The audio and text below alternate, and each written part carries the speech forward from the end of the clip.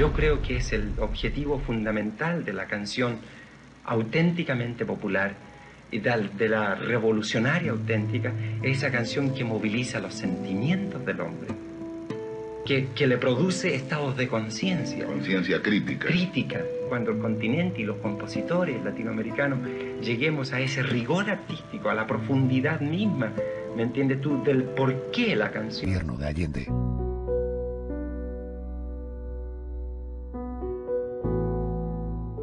Las crónicas de la época destacan la dureza de la tortura que sufrió el músico durante su confinamiento y que terminó con su muerte violenta en el antiguo Estadio Chile, un complejo deportivo chileno que tras el retorno de la democracia tomó el nombre de Estadio Víctor Jara. Buenas noches, Adolfo. Vamos a conocer un poquito más en profundidad los detalles de la tortura, auténtica tortura, y posterior muerte de un cantante y compositor que se posicionó políticamente a favor de Salvador Allende, llegando a ser nombrado embajador cultural. Chile, más o menos por ahí, por el año 67, comienzos, eh, apareció eh, un disco de Violeta Parra con canciones donde ella hablaba de la verdad, decir, de lo auténtico, de lo verídico, de lo real de Chile. Causó una conmoción y nosotros sentimos, un grupo de compositores, que ese era el camino que la canción debería tomar en nuestro país. Naturalmente esa posición en favor de Salvador Allende le colocó en una posición extraordinariamente peligrosa frente al dictador, ¿no? Efectivamente, puso a Víctor Jara en el punto de mira del general Augusto Pinochet y de sus hombres que ya estaban poniendo en marcha los planes para el golpe de Estado que pronto se produciría en Chile. Víctor, comprometido con la democracia, salió de su casa el 11 de septiembre, después de despedirse de su esposa, y con su guitarra en las manos accedió a la Universidad Técnica del Estado, donde permaneció toda la noche con estudiantes y profesores a modo de resistencia durante las primeras horas de ese golpe de Estado liderado por Augusto Pinochet. Las Fuerzas Armadas y de Orden han actuado en el día de hoy solo bajo la inspiración patriótica de sacar al país del caos que en forma aguda lo estaba precipitando el gobierno marxista de Salvador Allende. Naturalmente la consecuencia fue la detención de Víctor Jara. Pues sí, se produjo a la mañana siguiente cuando las tropas militares asediaron la universidad. Los soldados secuestraron a casi 600 personas que fueron trasladadas al Estadio Chile, un recinto que se había convertido precisamente en centro de detención y tortura de los golpistas. Sepamos algo más de, este asalto al Estadio de Chile y para ello consulto con el criminólogo, investigador privado y jefe de seguridad, querido Enrique Vega. Buenas noches. Buenas noches, Adolfo. Buenas noches. Eh, ¿Qué detalles puedes aportar sobre el asalto al Estadio Chile? Pues mira, Adolfo, al día siguiente de que Víctor Jara pasara la noche encerrado, los militares instalan un cañón frente a la universidad y disparan al edificio mientras un centenar de soldados vacía sus cargadores. Por supuesto no hay resistencia, ya que estaban desarmados. Toman prisionero a los 600 que permanecían allí y lo trasladan al Estadio de Chile. Allí empiezan a ocurrir cosas que indican la brutalidad con la que serían tratados. A un estudiante peruano que confunden con cubano le cortan una oreja con un cuchillo. A un profesor que llevaba exámenes recién corregidos le piden a los dos mejores notas, obligan a que se coman las hojas. Los amenazan con barrerlos con las sierras de Hitler, ametralladora MG-42 alemana, del calibre 7.62, cuya cadencia de disparo es capaz de seccionar los cuerpos. En el recinto caben unas 2.000 personas, pero hacinan a más de 5.000 prisioneros. Víctor es identificado por un oficial al que apodan el Príncipe, un oficial con lente oscura, rostro pintado, ametralladora terciada, granadas colgando de su pecho, pistola y cuchillo corvo en el cinturón. A partir de ese momento se convierte en el centro de las torturas. Es golpeado incesantemente por soldados alentados y ordenados por el príncipe, con golpes en la cabeza, en los costados, en las manos, y todo ello con resultados de cortes y roturas de distintos huesos.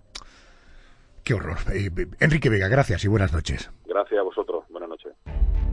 José Manuel, al principio eh, eh, Víctor Jara era uno más, pero parece ser que fue reconocido por uno de los oficiales, ¿no? Así es, lo que sucede tras esa identificación lo narra un testigo de los hechos, Boris Navia, es funcionario de la Universidad Técnica del Estado. Y entonces allí es donde el oficial de improviso descubre a Víctor y dice, a ese, a ese hijo de puta me lo traen para acá. Víctor entonces sale de la fila y el oficial le replica y le grita, no me lo traten como señorita, carajo. De repente él saca la pistola, con el cañón del arma empieza a golpear a Víctor en la cabeza. Y su cabeza, su pelo y su frente empieza a colmarse de sangre y lo mantienes con el fusil apuntándolo. Y si se mueve, lo matas, carajo. ¿Entendiste? Lo matas, carajo. Entonces le dice, fuma, huevón. Entonces le dice que, que no quiere fumar. Y entonces, fuma, huevón. Y lo insiste. Y entonces Víctor empieza a estirar la mano para recoger la colilla. Y entonces el oficial, con la bota izquierda, con una de las botas, presiona la mano de Víctor y con la otra empieza a golpearle la muñeca y le dice, a ver si ahora vaya a poder cantar, hijo de puta. José Manuel, ¿es cierto que en un descuido los compañeros de Víctor Jara intentaron ocultarlo? Sí, eso fue al día siguiente, después de una noche en la que, además de ser exhibido como un trofeo por parte de los golpistas, fue interrogado y torturado muy duramente, recibiendo incluso la prohibición de que le dieran de comer o de beber. Pero al día siguiente, efectivamente, los soldados que lo custodiaban se descuidaron, momento que aprovecharon unos compañeros para trasladarlo a cuestas hasta la cancha principal, donde lo pusieron en el suelo junto a otros presos para que pasara desapercibido. Es más, Incluso llegaron a recortarle el cabello con un corta uñas para que los soldados no lo reconocieran. Eh, Víctor Jara estaba consciente en ese momento. Estaba muy malherido, pero consciente de todo. De hecho, se puso a hablar con sus compañeros, de su mujer Joan o de sus hijas. Y allí mismo, tirado en el suelo y con un papel que encontró a mano, escribió los que serían sus últimos versos. Canto, qué mal sales cuando tengo que cantar espanto, espanto como el que vivo espanto como el que muero. El ocultamiento no sirvió de mucho, ya que pocas horas después fue reconocido y fue golpeado con mayor dureza delante de todos y trasladado a los pasillos donde volvieron a torturarlo e interrogarlo. Nos estamos acercando a la fecha clave, 15 de septiembre del año 1973. ¿Qué ocurrió ese 15 de septiembre? Fue la parte más desagradable de aquel secuestro, porque además de ser insultado y abofeteado constantemente por los soldados, los golpistas le quebraron a Víctor los huesos de las manos, tanto a pisotones como a culatazos, y lo obligaron a que intentara tocar la guitarra para burlarse. Aquella madrugada comenzaron a jugar con él a la ruleta rusa, dejando su muerte al azar. Una de las veces que apretaron el gatillo apuntando el arma a su cabeza, el revólver se disparó y Víctor Jara cayó de costado entre convulsiones. ¿Y fue en ese momento, eh, ya 16 de septiembre, cuando muere el cantautor chileno? Sí, porque un teniente, viendo que Víctor se convulsionaba, pero que no terminaba de morir, pidió que fuera acribillado a tiros. Le dispararon 43 veces seguidas.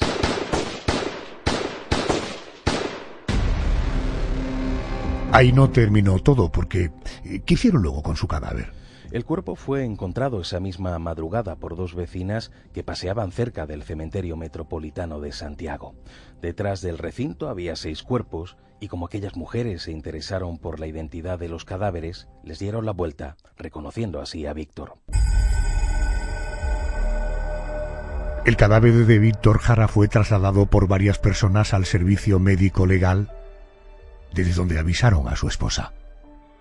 El recuento de los balazos fue sobrecogedor. El cantautor tenía dos impactos de bala en la cabeza, seis en las piernas, catorce en los brazos y veintidós en la espalda. Héctor Herrera, funcionario del registro civil. Un funcionario me dice, como tú eres un colega casi nuestro, te lo voy a entregar enterito. Fue al interior y volvió con una camilla con el cuerpo de Víctor Jara desnudo. Pesqué la ropa y lo, cubrí el cuerpo con la ropa, no lo vestimos, lo cubrimos. Yo sin saber que en ese segundo yo guardé todas las pruebas balísticas que quedaron guardadas aquí. Y José Manuel, ¿qué hizo Joan? ¿Qué hizo su esposa con el cuerpo de su marido? Muy discretamente logró sacarlo del servicio de medicina legal y lo enterró en un nicho del Cementerio General de Santiago. Eso sí, en un nicho sin lápida para que los golpistas no lograran dar con él y hacerlo desaparecer, como ya había ocurrido, por cierto, y ocurriría con muchos otros hombres y mujeres contrarios a la dictadura de Pinochet. Iba el sepulturero que tiraba el carro, Joan al medio, a su lado Héctor y el otro Héctor yo al otro lado, los tres. Ni una flor ni nada, un ataúd vacío. No había ni una tarima como para subirnos con el ataúd y subirlo ahí. Tuvimos que subirlo nosotros mismos. Nos costó mucho. El Señor nos decía, apóyense arriba, apóyense, apóyense, fuerte, cuidado, cuidado. Y apóyense, apóyense. Y después eh, nosotros mismos lo empujamos el ataúd hacia el interior. A nivel de ruido es un ruido que nunca se me ha olvidado. En 2007 comenzó una investigación judicial para buscar responsabilidades en el asesinato de Víctor Jara, un proceso que a finales de 2012 llevó al juez de la Corte de Apelaciones de Santiago a ordenar el enjuiciamiento de siete militares que en 1973 estaban al cargo de los prisioneros confinados en el Estadio Chile. José Manuel, ¿cuál fue el resultado de ese juicio? El resultado se dio a conocer en julio de 2018 y concluyó con la condena de ocho militares a 18 años y un día de cárcel en calidad de autores de la tortura y el asesinato de Víctor Jara. Sabían de la muerte lo duro que es el pan. Venían del desierto. Me imagino que dada la dimensión de la figura de Víctor Jara, su entierro, digamos, oficial y los homenajes serían multitudinarios. ¿no? Claro, el entierro se produjo después de la investigación forense que acabó en noviembre de 2009. Los restos mortales del cantautor permanecieron dos días en la sede de la Fundación Víctor Jara para recibir las honras fúnebres. Luego, el cadáver fue enterrado en el Cementerio General de Chile y efectivamente, como era de esperar, en esa procesión participaron más de 12.000 personas. Joan Jara, viuda de Víctor Jara. Aquí empezamos de nuevo pero vamos a seguir y ustedes van a seguir luchando por lo que nuestros queridos seres entregaron su vida para cumplir, para hacer una sociedad mejor.